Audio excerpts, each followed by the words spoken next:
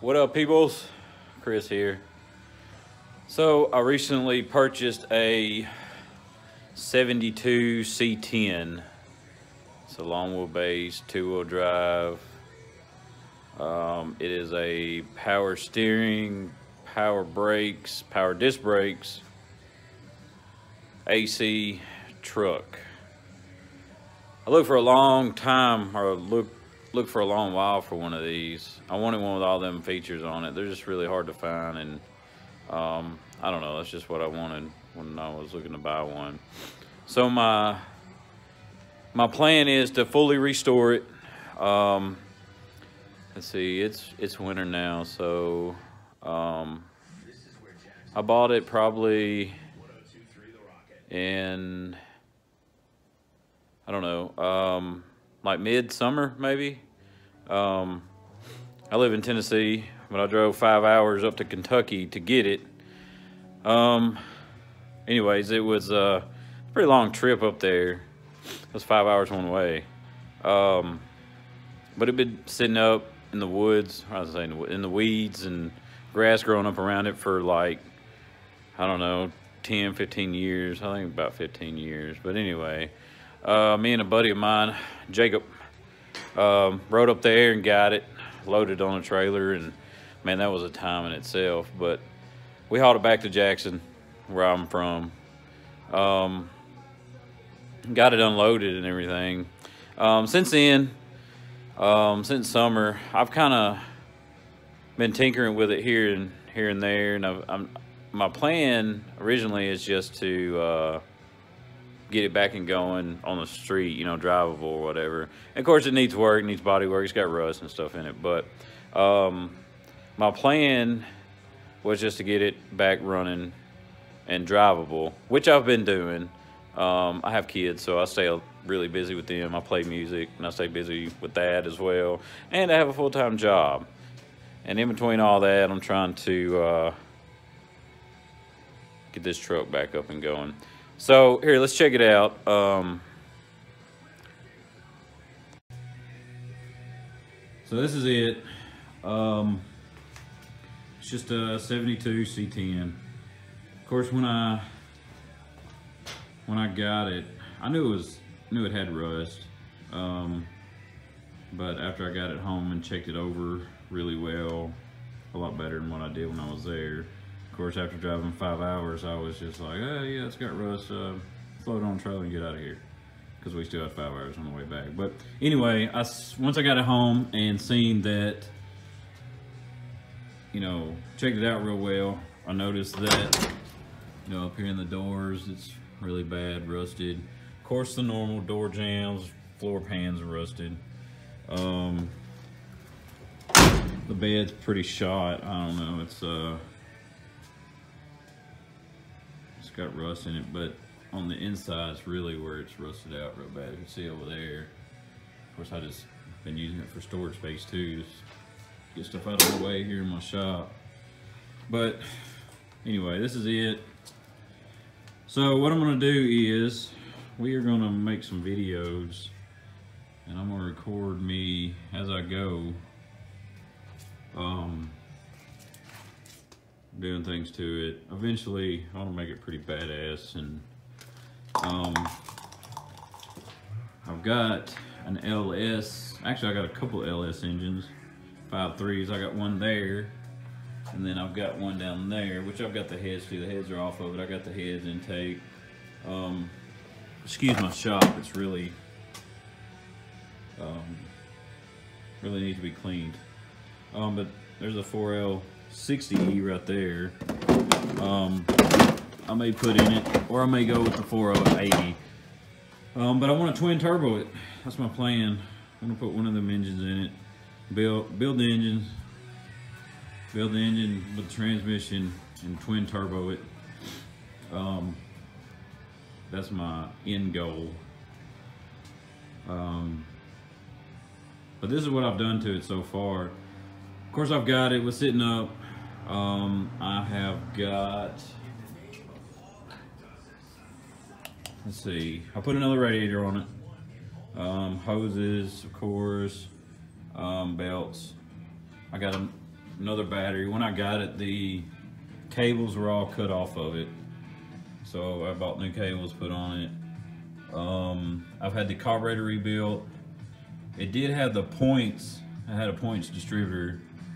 I changed it out with a um, electronic distributor. Um, got it all in time. I did put new spark plugs and spark plug wires in it. Um, what else have I done? I put a heater core in it because it was leaking. Um, trying to think. Just kind of give you a rundown of what I've done so far. Um, I've had to put a, another, put another door latch in it. Um, this is the inside. I cleaned it out, but oh, I took the gas tank out, of course, and cleaned it, which is behind the seat. Um, had to put another ignition switch in it. Um, oh, I went through and put on the front. It's got new brake calipers and hoses, and in the back, it's got new brake shoes and wheel cylinders and the center rubber brake hose that splits off and goes to each wheel. Um, I've replaced those. So as of right now, the truck, as of right now, the truck does run and drove. I about two two nights ago, I took it down the road for the first time. Um, it was kind of sketchy because my brakes aren't 100% yet, but it does run and start. Doesn't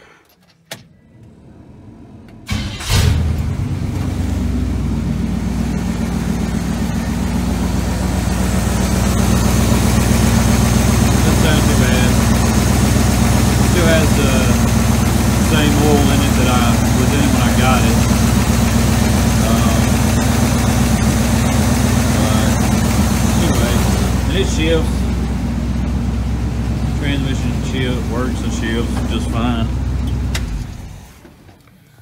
Um, so I'm at the point now, my brakes, I, I did all that work to the brakes and then I can't get my brakes bled.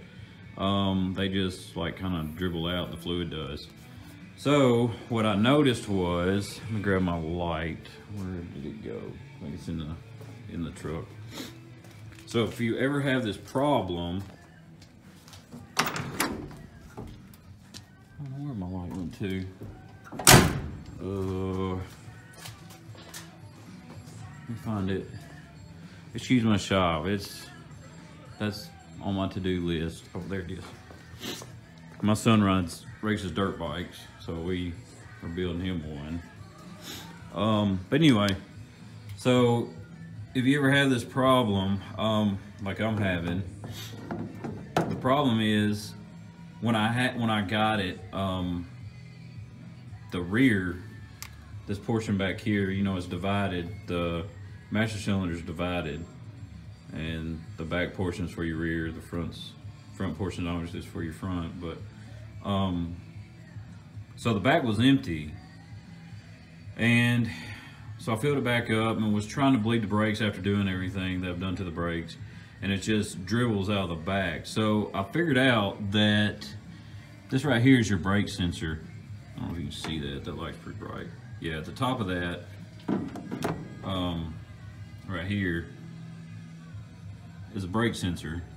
So if something happens to, if you one of your brake hoses busts or and you lose fluid pressure, um, it triggers a light on the inside of the truck or vehicle to let you know that something's wrong with your um, brakes. But on the inside of it, there's like a little piston, and it stays centered as long as there's no pressure loss. But if there's pressure loss on the front or the back, the cylinder moves. Um, so it blocks off, say, you know, this this is the rear, um, runs out to the rear, and then over here, like that's your front. Um, say the back back brakes lose pressure, then this piston inside here will slide back because there's the front has more pressure, obviously. So it presses the cylinder back or the piston in there back and blocks off the back brakes so that you still have front brakes. Well, the problem is the same issue happens when you're trying to bleed them in the and the system's been empty or in the proportion valve there. But what you can do is, this is a, um, a switch that makes the light come on. What happens is it stays in the middle. I don't know if you can see that or not, but it's got a little tip on it. What happens is that little sits in a groove where it doesn't touch anything. And if that piston moves, it touches like, it touches the tip of that and grounds it out, which in turn turns the lights up, turns the brake light on inside. So my problem is, the problem is, is when you try to bleed, and I don't know if you can see that down in there, but there's like a little piston, and the way it's sitting right now is where it's supposed to be.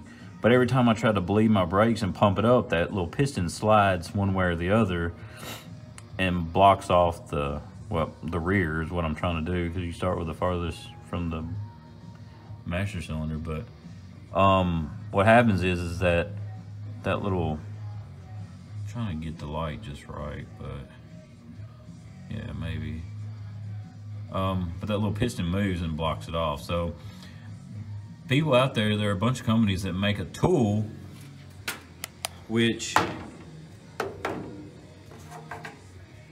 it looks identical to this, but instead of this tip moves, I'm trying to way, I don't know if you can see that, but the tip of the sensor moves in and out.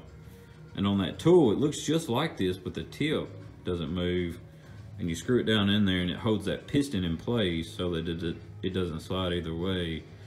So I've got one ordered and it should be here Tuesday. So that's my next that's my next um, thing on my agenda to do is get the brakes all figured out. And I think once I get that tool to go in there to hold that piston, I'll be able to bleed my brakes and won't have any issues there.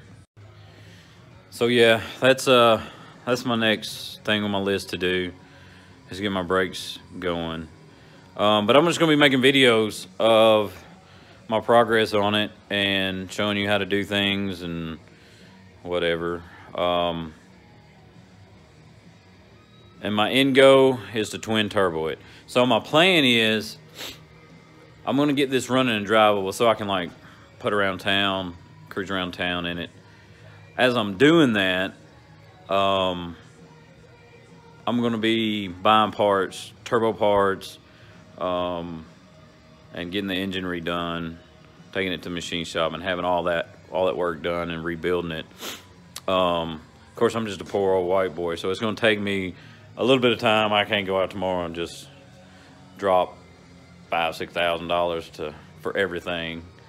Um, but I'm gonna do doing a little bit at a time as I, as I go. I'll uh, I'll I'll make videos and post them here on YouTube and um, y'all can check it out, man. See what you think, and then go go along with me on this endeavor. But for the most part, it's a it's a cool little truck. I mean, it needs work, and uh, I know it's a long wheelbase. Some a lot of people like short wheelbases, which I like them too. But I don't know. Um, the long wheelbase, I thought about cutting the bed down. Of course, they make a kit where you can cut the frame and then cut the bed, or find a short short bed. I don't think I'm gonna do any of that. I, I like I like the long bed too. Um, they especially look good when they're lowered and and all that. They look a little bit better to me, but that's just my opinion. I know I'm gonna get hated on for that one, but anyways, um, yeah. So just subscribe to the channel. It's a new channel I just started. Um, Loose Nuts Racing my brother, um, Aaron, he has a 49 Chevrolet truck. Um, twin turbo 5.3 uh, Power Glide. It's pretty badass. Um, my dad, me and my brother and my dad has always been in old cars and fixing them up and racing and all that good shit. So um, this channel is going to be for that. I'm going to show you um, not only just this truck, but I'm going to go hang out with my brother um, a few times, and um, he's about finished with his his truck. Um, he's got to wire up his trans brake and two-step and all that, but um, that truck is Jesus. Um, but yeah, I'll, I'll, make some videos. I'll go over there. Of course, all he he's done most of all his work and um, on his truck. But I'll, I'll still make a. I'll go over there and make some videos of his truck and show you what he's got and all that. And then this spring and summer, we'll be taking him to the track. So, um, and I'll carry y'all along with me. Um, and then I, I may go over to my dad's. Um, he's got a 55 Nomad that he built from the ground up, top to bottom, front to back. That thing is gorgeous. That thing is a nice, nice ride. Um, that's his baby. But um, I may, I may show you that too. Um, but anyway, guys, um, so that's that's the plan. Um, just hit that subscribe button, hit the little bell out there beside it, um, so you can keep up with my next video that I post, and uh, we'll go from there. I ordered the tool for the brake um, proportionate valve, the bleeding tool. That should be in Tuesday. So when I get that in, I'll uh, I'll make a video of me bleeding, you know, showing you the tool and how it works and all that. And then hopefully we can get the brakes bled. And if it isn't too late, we may go on a ride. Anyway, thanks for watching. Just, again, hit that like or the subscribe button. Hit the bell so you get the notifications when, when I post my next videos. And uh, we'll catch you on the flip side. Peace.